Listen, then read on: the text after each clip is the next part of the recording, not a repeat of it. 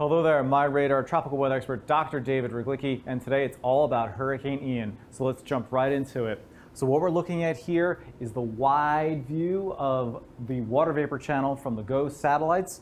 You can see Hurricane Ian down here, but there's a lot more to the story than just Ian. Don't get me wrong, we'll talk about all the effects that Ian is directly going to have on the Florida Peninsula, but you also see all of this impressive convection. This is going to be a big rainfall event. And also you can see outflow from this storm is reaching all the way up into Canada after they just dealt with Hurricane Fiona.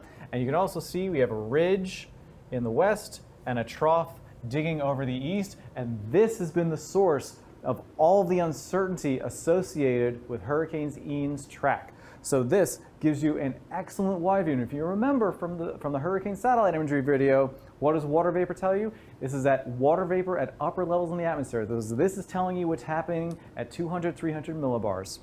Well, we can also zoom in to the visible satellite imagery while the sun is still up, and you can see the swirling eye, and if you look really closely, you're gonna get to see little mesovortices and the hub cloud, and you can start to see that as it's coming off of Cuba and starts making its way towards the Florida Peninsula.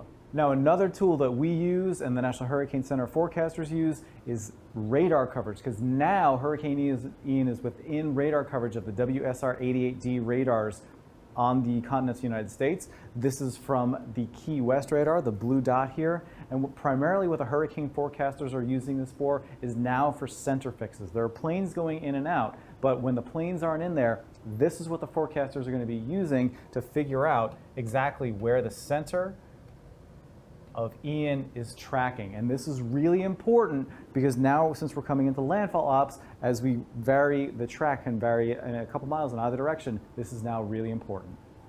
Now, Hurricane Ian is forecast to become a Category 4 major hurricane, and even though it is forecast to weaken slightly as it makes landfall, that, does, that hopefully should not diminish the threats that are going to be posed by this tropical cyclone. Now, one of the big ones that even though the track has shifted and is going to spare Tampa Bay the worst is storm surge. So from the middle of Longboat Key here down to Bonita Beach, you're looking at 8 to 12 feet of storm surge. So if you're in the storm's way, this is a lot of storm surge please do evacuate. This is very serious now, and I hope you do indeed get out.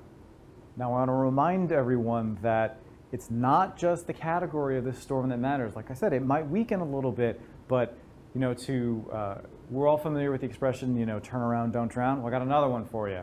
The category is not the whole story.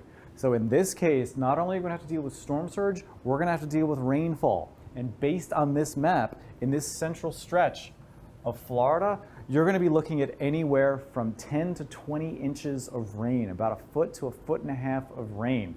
And even though storm surge is going probably going to cause most of the property damage, and like I said, please do get out if you're in the storm's way, uh, rainfall is usually what's responsible for fatalities. So please be very mindful of all the rain that's coming. So this is a little unusual. Uh, most times when a hurricane dumps a lot of rain is because it's moving very slowly. In this case, since Ian was such a mess in the Caribbean, it has a very large wind field and it is pulling a lot of that tropical moisture from the Caribbean over the Florida Peninsula. So once again, you're looking at about a foot of rain in this stretch in central to northern Florida.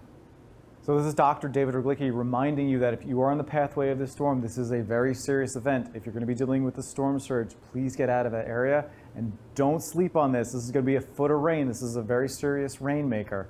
So stay right here and we'll try to give you as many updates as we possibly can. And while you're out there, please stay safe. And I'll talk to you next time.